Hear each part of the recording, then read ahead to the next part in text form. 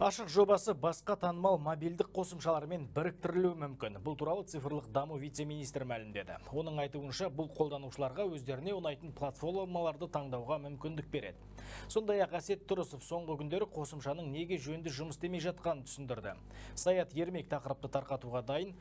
Сонымен Саят ашықтан ақау не себеп шықты және жоба қандай қосымшаларға енгізілмек? Кеш жарық әзірге өзінің статусын қазақстандықтар ашық және айту платформаларынан көре алады. Болашақта сервис өзіміздің күнделікті қолданып жүрген банктік қосымшаларда да пайда болуы бек мүмкін. Ведутся переговоры с другими банками второго уровня для того, чтобы... Екінші деңгейлі банктермен келіссөз жүргізілуде. Егер олар келіссе, ашық басқа танымал мобильді қосымшаларда және сайттарда қолжетімді болады. Яғни ашықтың өзінде проблема туындаса, азаматтарға балама ұсынылады шынымен де соңғы күндері ашық қосымшасы дұрыс жұмыс жасамады. Бірінің статусын қате көрсетті енді бірінікін мүлде көрсетпеді.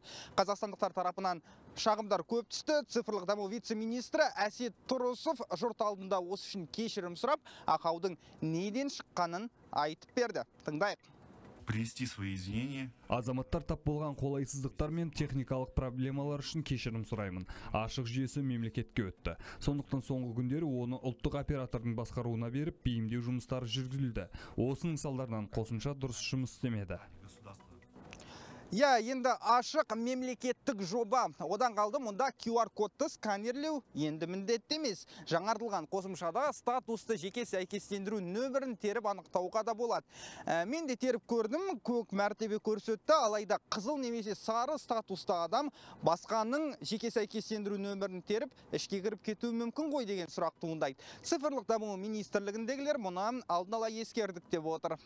Бізде мобильдік база бар тұрғындардың солармен интеграция жасадық. Демек сіз егер енді терген кезде автоматты түрде сіздің телефоныңызбен ол тексеріледі. Және де сол кезде басқа біреудің номерін сіз тере алмайсыз. Бүгінге дейін қосымшаны 1 миллион 700 мың адам жүктеп алған екен, ал ашықпен жұмыс істейтін бизнес нысандарының саны 7 мыңға жуықтап қалды.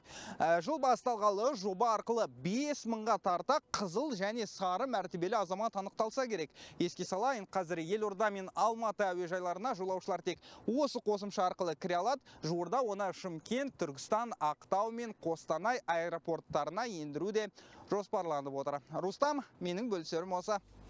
Рахмет Саят Ермек байланыста болған.